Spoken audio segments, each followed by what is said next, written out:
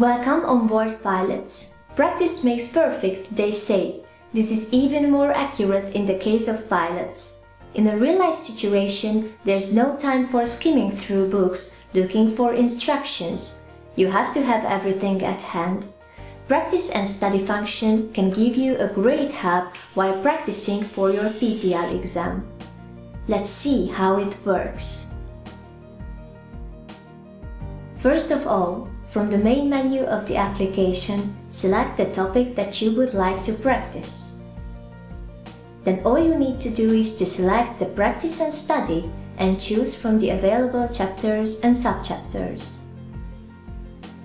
With PPL Exam and Study, you can easily set the number of questions by moving the slider under Questions. When everything is set, just click on the Start button and let's get it started. On the status bar above, you can see how many questions you have left. When something comes to mind concerning the given question, you can write a note whenever you want by using the pencil icon.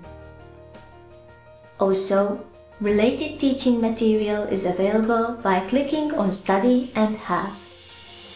There are figures and explanations available from various sources, such as texts, images, Wikipedia links, and books. You can shift between questions with the arrows below, or with the list of questions on the left. If you are done with the test or you want to have a break, Click on the menu in the right corner of the screen and finish or pause your practice. The FlyGo Aviation team wishes you all the best throughout your journey of studying and practicing for your exam. We hope that you have found this video useful to better understand practice and study function. Keep it up and see you in the next video.